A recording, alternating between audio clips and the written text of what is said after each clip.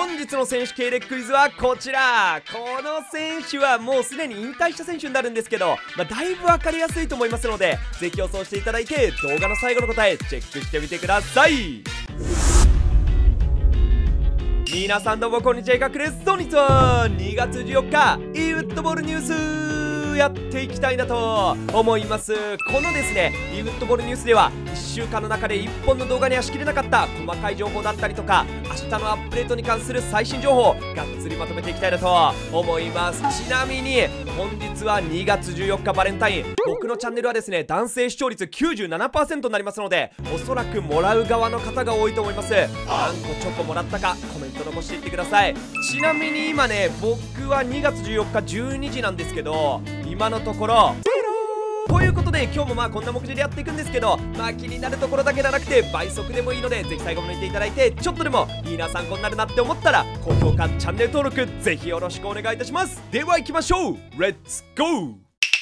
はいということでここからはサクサクと新情報を見ていきたいなと思うんですけどまずは月曜日からの新イベント。もう現役ビッグタイムガチャ恒例となっておりますがインテルのツアーイベントラウンド1やってまいりました。とりあえず公式大会に興味がなかったとしても1000ポイント貯めるだけで5000インフットボールポイントがもらえるコスパ最強イベントとなっておりますのでぜひこちらクリアしていただきたいのとクリアしていただくとラウンド2以降に進むことができますのでぜひ皆さんやっておきましょう。そういえば公式大会関連で言うとバルセロナの代表決定戦がすでに終わったみたいですね。この写真見てください。いい写真。でさあ今週さあミランに続いてこちらのインテルビッグタイムガチャがやってきたんですけど実はメインパートナー組で現役ビッグタイムガチャが来てないのは残りユナイテッドのみとなったんですよね。いやーユナイテッドからねワンビサカとか来たら絶対盛り上がると思うんですよ。今月来月どこかで来るとは思いますので楽しみに待っていきましょう。まあ今季はないですけどインテルミランと連続できたので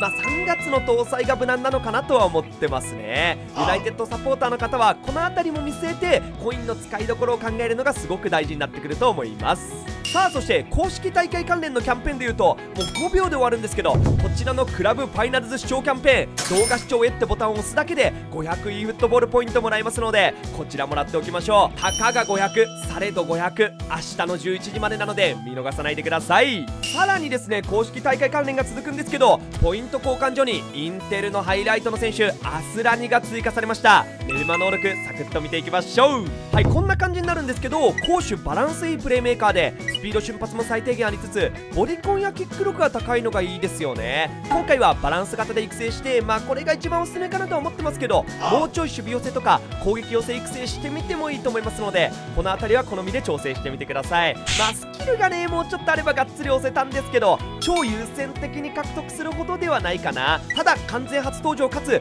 通常からはしっかりと強化されてますのでインテルスカット作ってる方は絶対に獲得してあげてください。で獲得方法としては e フットボールポイントへってところをしていただければ獲得できるんですけど実はですね5列化が明日の11時で獲得できなくなってしまいますので5列化狙っててまだ取ってない方明日までに取っておきましょう。でお次はですねアジアカップのお話になるんですけどリアルのアジアカップがカタール優勝で大会終了となりました。で e フットボールのイベントでいうとですねガチャとかまだ続くんですけど実はこちらのイベント対 AI 戦からできるチャレンジイベント。これがですね明日の11時で終わっちゃうんですよね。で地味にこのイベントスキル追加がもらえたりとか結構大量に GP がもらえたりもしますのでまだやってない方絶対にやっておきましょう。とか言いながら他のイベントは僕やってるのにこのイベント全然やってない。この後頑張ります。でアジアカップで言うとね明日とかにねサプライズでベストイレブンガチャとか来ても面白い気はしますけどね。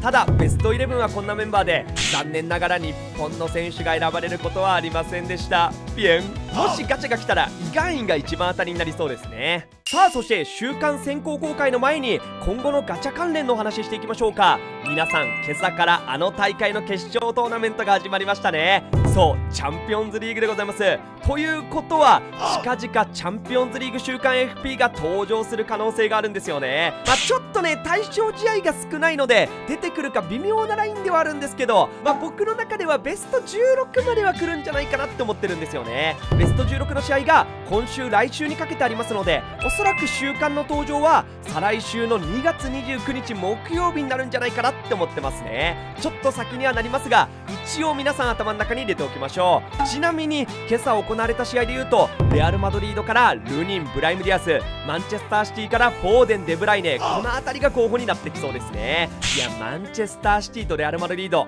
安定で強すぎます。でウイイレ時代のですねチャンピオンズリーグ週間もそうだったんですけど実はここから先って全8試合から週間が来るのでそれこそ引き分けからも来たりとか同じチームから複数来る場合とかも全然あるんですよね、まあ、残ってるチームのサポーターからしたら激アツ週間になる可能性も高いのでこの辺り楽しみに待っていきましょう。でそうだ1個心配なところで言うと今週刊 FP って週刊ブースターっていうのがついてると思うんですけどあれって基本的にはライブアップデートと連動した形になってるんですけど実は CL 週間の方ってライブアップデート対象外になるんですよね、まあ、対象外というかあくまでリーグ戦基準でのライブアップデートで来るので全員 A とかそういう感じではないんですけどってなると週刊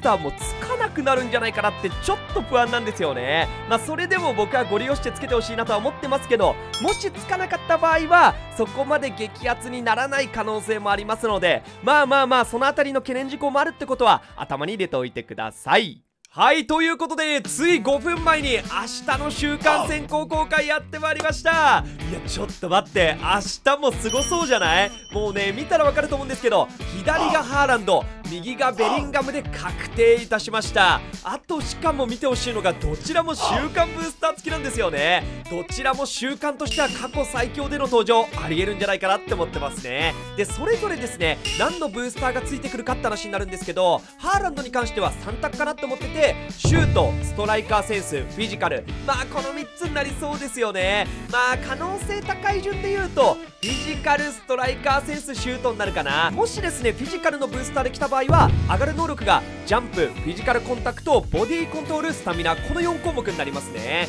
まあでもねガチャ的な当たりで言うとストライカーセンスとかで来てくれた方が嬉しいですよね。まあでもあの現実の2点目の弾き飛ばし具合を見る感じはフィジカルが濃厚なんじゃないかなって思ってますね。そして右側のベリンガムこっちもね週間ブースター付きなんですけどいや僕ねストライカーセンスで来るんじゃないかなって思ってるんですよね。まあシュートも全然ありえると思うんですけどストライカーセンスでオフェンスセンスボールコントロール瞬発力決定力この4つが上がってきたらまあ間違いなく週間の中では最強のベリンガムになると思いますのでこれちょっと楽しみに待っていきたいですね。この2人が確定してその上でですねザカリアだったりとかライスなどなど注目選手いますしサリバなんか来ちゃったら今週やばいことになると思いますので明日の週間はかなり期待できそうですね。他の候補の選手が見たい方は昨日の週間 FP 予想の動画をご覧ください。ということで今回の動画以上で終わってきたらと思います。本日の系列クイズの答えはこちら。ファンペルシー選手でした。当たった方声よくよろしくお願いいたします。ということで明日もですねアップデート大会新15時前後でやっていきますので